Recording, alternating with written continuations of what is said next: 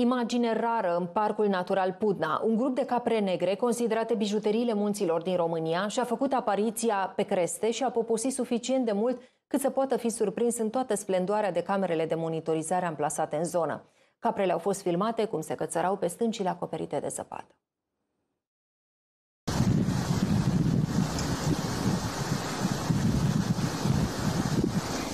Imaginile cu grupul de capre negre cățărate pe stâncile din Parcul Natural Putna Vrancea au devenit virale în spațiul public după ce Rom Silva le-a publicat pentru admiratori.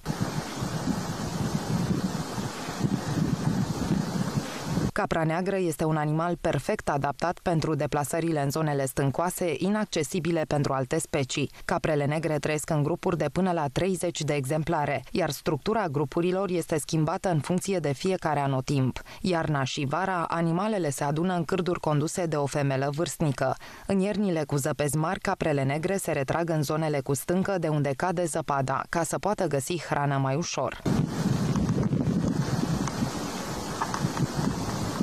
Parcul Natural Putna Vrancea este unul dintre cele 22 de parcuri naționale naturale administrate de Regia Națională a Pădurilor Rom Silva.